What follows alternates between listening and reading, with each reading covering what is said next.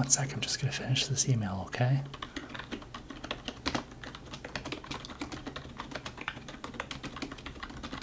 bathroom. Okay. Oh my god, where have you been? Well, I know where you've been, but welcome back. So much has happened since you left work last Monday. Yeah, I know it's crazy. No, shh.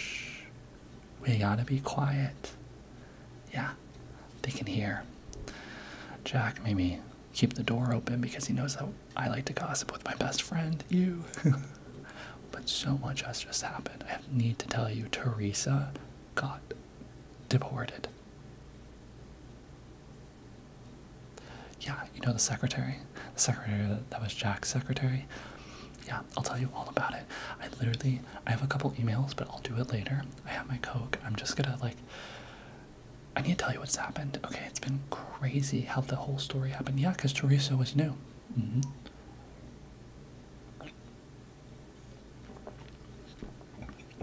Yeah, Teresa was new. Yeah, she was a new hire that, remember, like two weeks ago?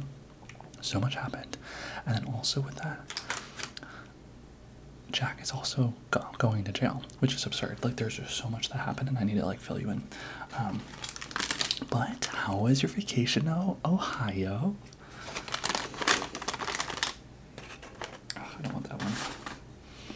hmm I know, I'm still so surprised.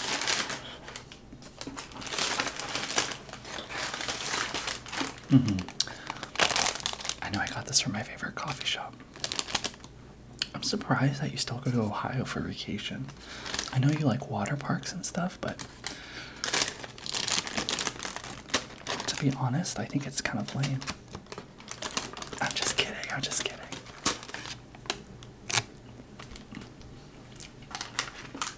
Water park was good. How are the kids? hmm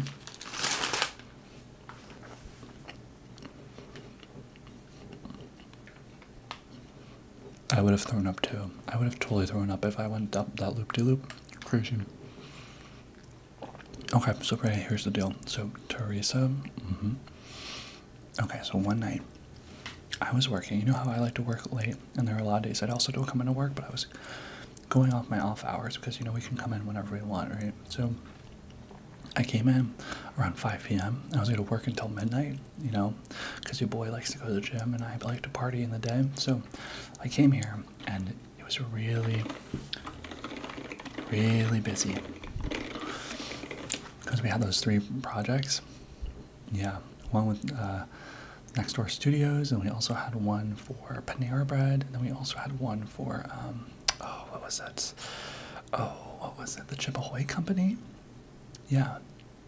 So I was sitting here doing my work, and Jack, who's no longer in his normal office, did you notice that? You didn't notice that? Well, look around. There's no one in that office anymore. Because what happened was I was here and I was doing my typey typey. I was working, working, working really hard. Um, and it was late. There was no one here except for the janitor. You know Bobby?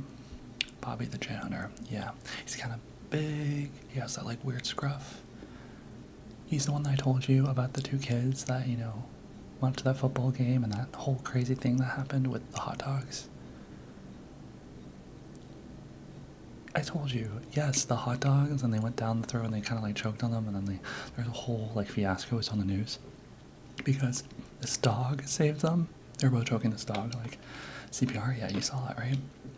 So, Bobby was here, I was here, and then Jack was here, and someone else was here as well, aka Teresa.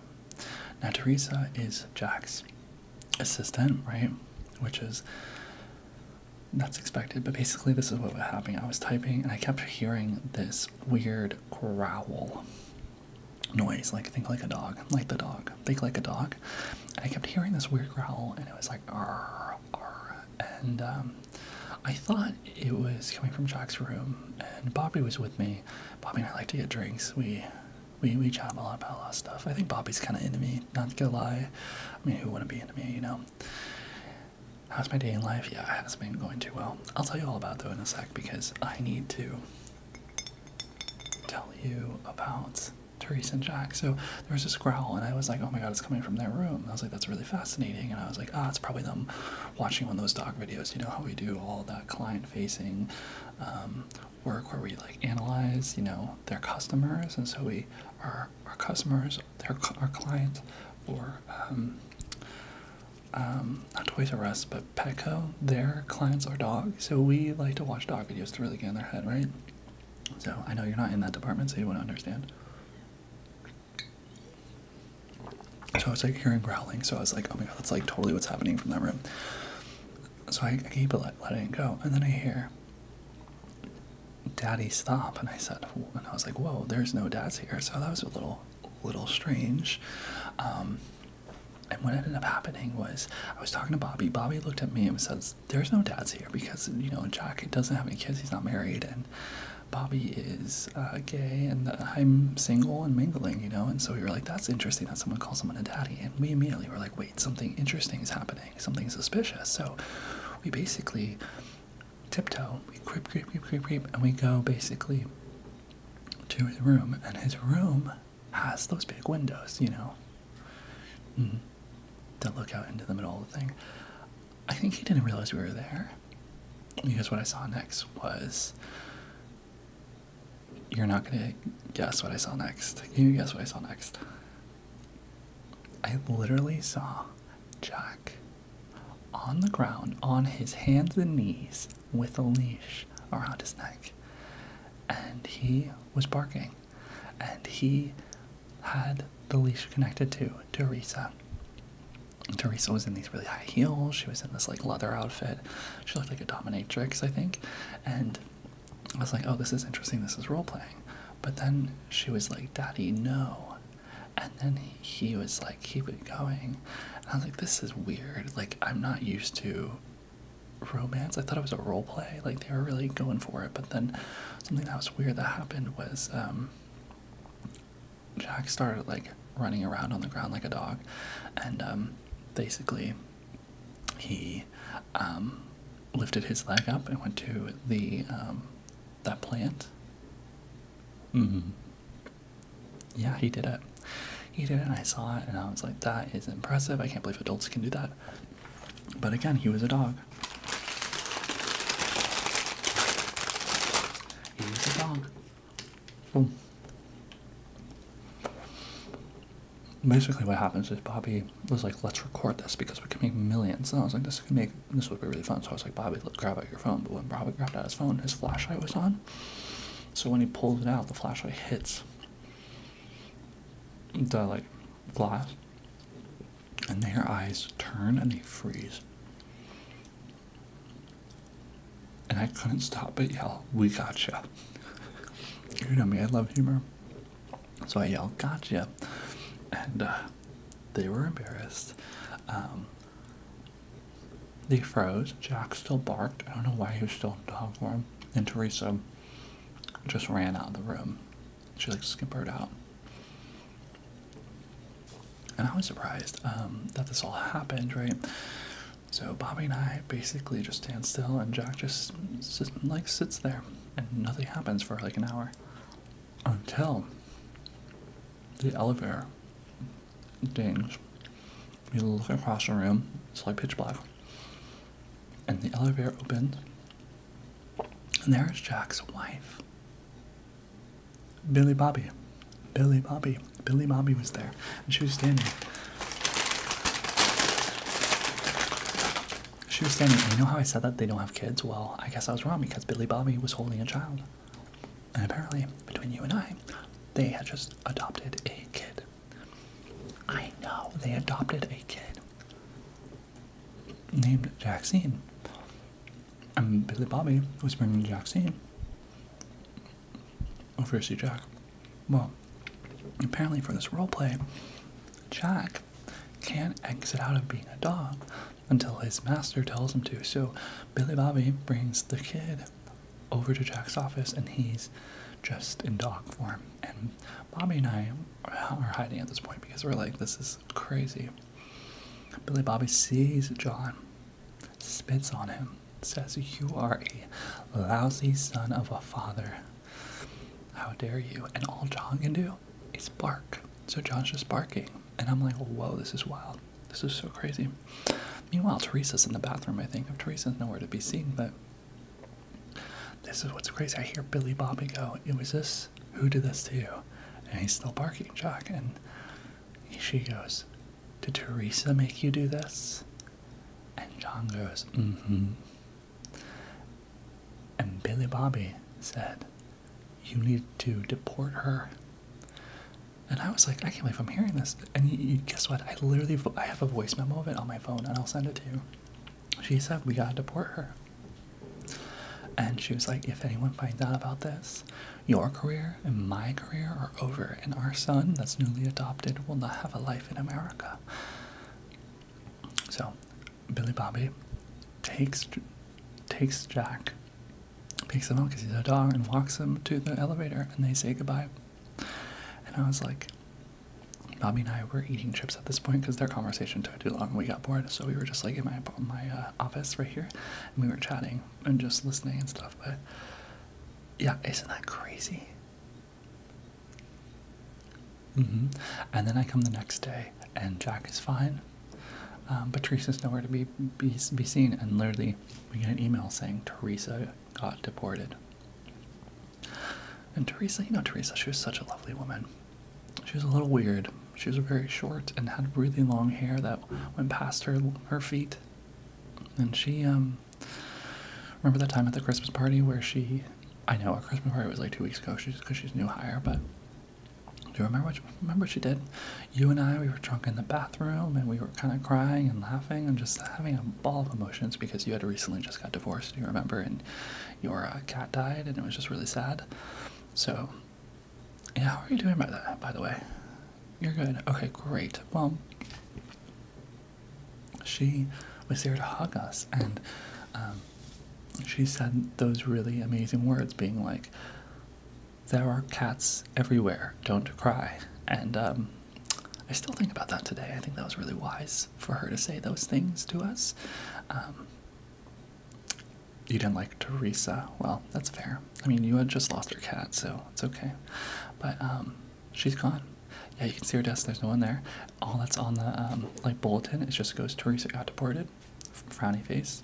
I made that sign because I know a lot of people don't understand why she left. So, um, Jack deported her. It was actually Jack's wife deported her. But what's fascinating too is that Jack's no longer in his office because I think he has really bad memories in that space. Um, you know how space really like holds energy. Like right here, we love our, this energy because like you and I are just like really best friends, right? Mm-hmm.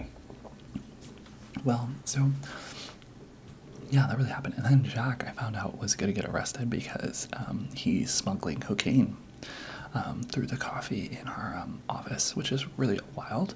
Um, yeah, he like moved offices, and then we found it was actually being Bobby again. I would I would have went you, but you're new. Like you've been gone for oh, to Ohio. I mean, like you're newly back here, and um, it was just so crazy as we were getting some some coffee, and um, Bobby actually opened the bag and split it in half by accident because you know how we like to play those that, that like knife game where we like toss knives at things. So we were tossing it out the bag, and it exploded this white powder. And I was like, that's weird because coffee is brown, you know, like coffee is not white. So that was just like really weird. Um, but that's what happened. And so we called 911. Um, and uh, he got arrested yesterday. They came up and they had a search warrant and they found all the cocaine, and he's now in jail. Um, that's why we had a really early day yesterday. I know it was really like HR really didn't like tell anyone in the email what happened, but that's why I made another sign that's on the bulletin board that says Jack went to jail. Um, so yeah, I don't know the future of our company. You and I still have jobs because you and I are amazing. And don't worry, I stick up for my bestie. I, I, I tell people that you are a hard worker because you are. You are a very hard worker. But, man. Oh, and also, it's just so wild. I know I'm single, but my ex husband and I are expecting a, a kid as well. I know, it's not so exciting. I know I'm excited, although I don't like him at all. Um, I think we're gonna name him Charlie after my dead dog because I miss my dead dog. But oh, I totally forgot to. They're also gonna interview you um in like two hours. The police. I meant to email you about it, but don't worry. Just like lie about everything. Just say you were there. Like do it for the plot, you know. I know you're in Ohio, but it'd be kind of fun if you like gave a story. Like you could say you're with me, or between you and I, I think Jack should stay in jail. So I think you should talk about how you're allergic to cocaine and maybe how you like drank it one day and one afternoon, and how like maybe that's the reason why your cat died. Because you were like really energetic, and you were like going home, driving home really fast, and you accidentally ran over him. I think that's a really good story. I think we should stick with that because we need to get him out. Okay, and between you and I, that's the game plan. I think between you and I, our game plan should be to go into Jack's position, and I think we can set ourselves up well because HR is already really mad at me, but they're not mad at you. And if you co cooperate, collaborate, cooperate, you know what I mean? If you cooperate with my story, I think it'll give us credibility where we can outsway the rest of the coworkers and company to give us reign and give us power. This is a democracy. I mean, I know we're not going to vote, but it would be really cool if you and I ran this company. I don't know, I've never really been in kinks to being a dog, but I feel like when you're in a, a position of power, like, I totally understand why you would be, like, wanting to be submissive like a dog. Kind of makes sense. Also, but Jack yells all the all the time, all day. So like, I'm so glad he's not there. I can do my meditation. I can do my ASMR. I can watch Nick's Ramble ASMR. You know how I love that. Are you subscribed to him yet? Girl, or guy, whoever the hell you are. I know I sometimes can't tell what you are, but it's okay. You look great either way. You should subscribe. I love him. Nick's Ramble ASMR is so good. I'm in the membership too. Just press the join button. It's like the price of a coffee, you know. And you and I, we get coffees. We don't even remember coffees that we have like every month for work, right? We just drink them down and we don't remember. But I pay the, that price for the, his membership, and I get like there's so many fun people all over the world. I get to grow my little bee, and it's like little hive, which is really cute. You know how I love bees, and he's like just such a great person, so like wholesome, and he's like building a really cool community. Like he gives me the energy and the power to like do what I do on a daily basis. Like, is he a little weird and a little crazy sometimes? Yes, but like everyone else there is amazing. So do it because I want to see you there, and let's go grow his channel. Like subscribe and like it and stuff. That's what I do every day. Like on my off time when I'm not emailing and I'm not talking to you, I just go to his, his channel and I like everything. Also, he does lives and I like do the bell notification, the notification bell, whatever it's called, blah blah blah blah. And his lives are really good too. So I think we should become bosses, and then we should, I think, donate a good portion of the funds to his channel every year. What? That's between you and me. I gotta get back to work though because like so much has been happening. But let me know how you've been doing. I'm sorry about your cat. I hope Ohio and your kids are doing okay. I know the divorce is really rough. Stay with it. If you could do me that big favor and you can lie to the police so we can become the power couple, let me know.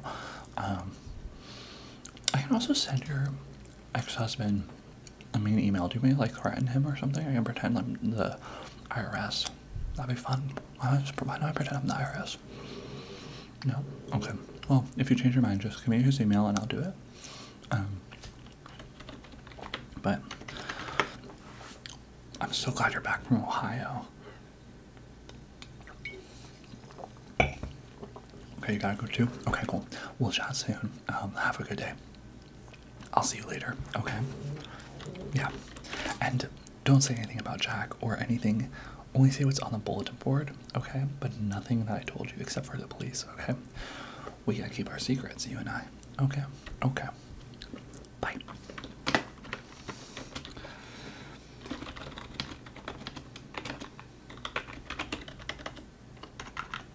There.